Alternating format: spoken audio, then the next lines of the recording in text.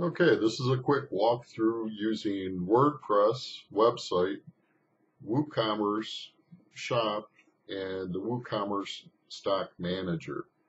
We found this tool and it's a quick, easy way to manage your inventory.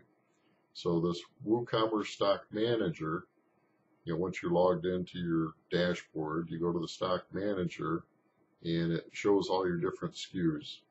Now, if you recall, when you're setting up your products, you have your products are set up with attributes and variations, you know, so those become all these different variables.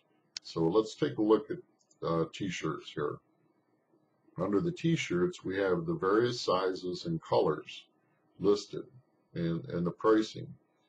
Here we have the number that we have in stock, and if you notice as a quick reference, if we're out of stock on something, it's outlined in red. If we have less than five, it's outlined in yellow. If we have more than five of something, it's outlined in green.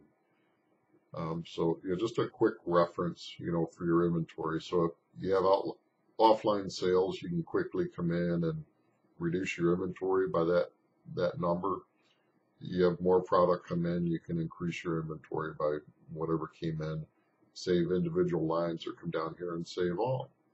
Hope that helps.